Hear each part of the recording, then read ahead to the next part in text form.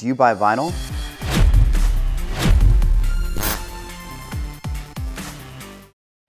Hey, it's Adam from Jawbreaker, the drummer. Hey, I'm Blake. I'm at Amoeba Records in Los Angeles, and this is what's in my bag. None of your business what's in my bag.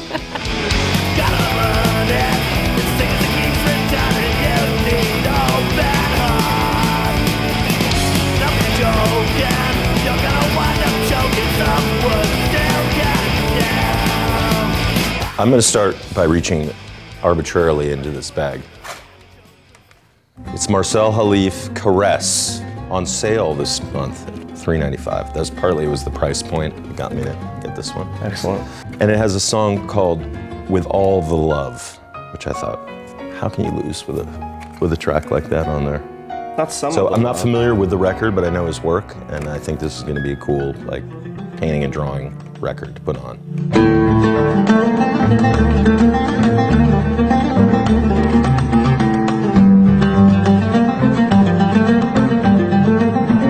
I got this Kendrick record for my uh, daughter as a present.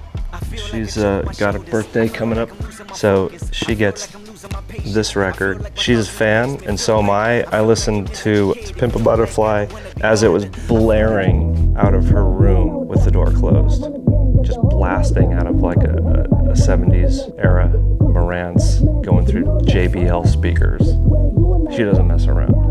Right stroke, put little baby in a spiral. Soprano C, we like to keep it on the high note. It's levels to it, you and I know. Bitch, be humble. Hold up, bitch. Sit down. Hold up, hold up. Nine Inch Nails, Hesitation Marks. Haven't heard the record, but I'm a big fan. As always, it looks great.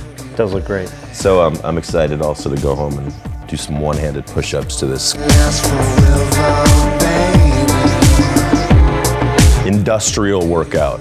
Yeah. I'm excited though. I, I don't know this record, but I really love With Teeth, a kind of more recent one. He always does really cool things with sound.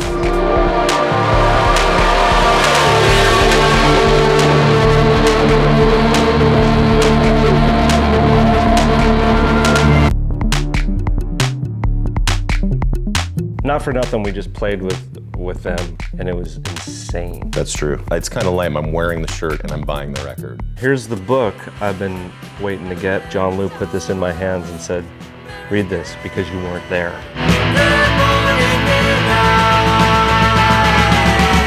But indeed, I was there.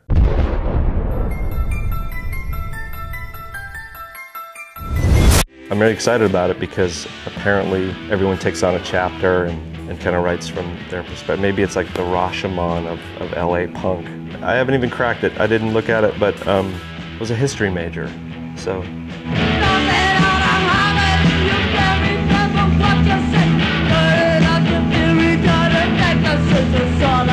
I've been looking for this record for a long time. ah, the best. Sinead O'Connor, Faith and Courage, and somehow I missed it. Right. I'm a big Universal Mother fan, and of course, like the first two records. And then you turned me on to Jealous. Jealous, which is great. And there's another song on here that really blew my mind. What's the darkest title on there? Hold back the night, maybe. Maybe that's it. Well, I'll have to let you know. But and also on sale. But we'd be paying top dollar for any Sinead.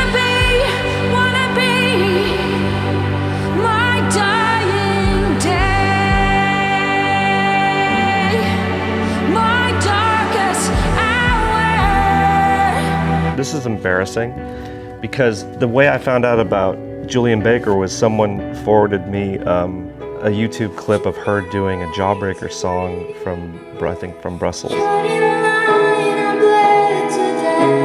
I was so impressed by her version of um, our song that I think I mail ordered. I might have like written her a fan mail or something, but I got this on vinyl right afterwards, and this really blew me away. It's just guitar and vocals and just amazing songs. I'm a huge fan. My mouth like a wound when I stay up and throw my voice about you. Mic check. Operation Doomsday. I love Doom because he's a, he's a he's a maniac with language. Dead planets and card jewels, throwing divine rules to come through. We will overcharge you. He always has so much wordplay going on and so much kind of associative language. I kind of know this record. I do know this record, but uh, I'm happy to have it on vinyl. It inspires my writing to be a little more dangerous, to court danger the way he does. Right after these last three shots from the black bat got me a headlock. Holding on to sanity while strands of that dreadlock. I was looking for the DOC, early Dre, DOC. It's my all-time favorite hip hop record, and uh, it's out of stock. Probably because it's so good that it's just sold out right now.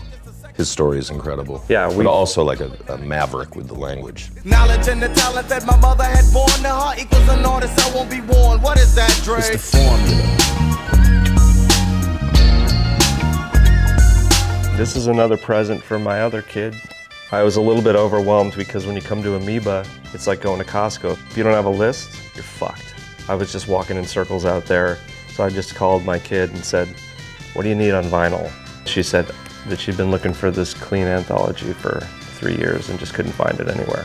One of the clean lives in my neighborhood. For real? Which clean? Hamish. See him all the time at the coffee shop. Good guy? Great guy. We hang out. Oh, you do like a stop and chat thing? We both were up for the same job. Really? once, and we kind of like. Who got it? Hey. hey. But he still talks to me, which is nice.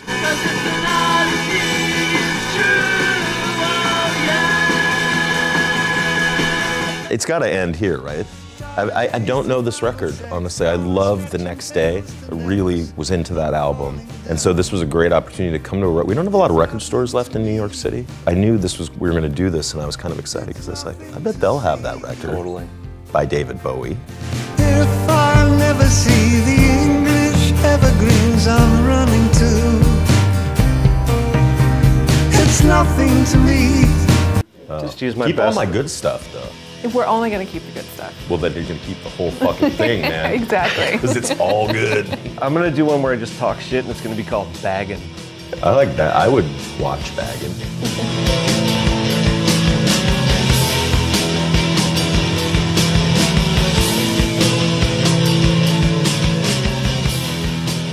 啊。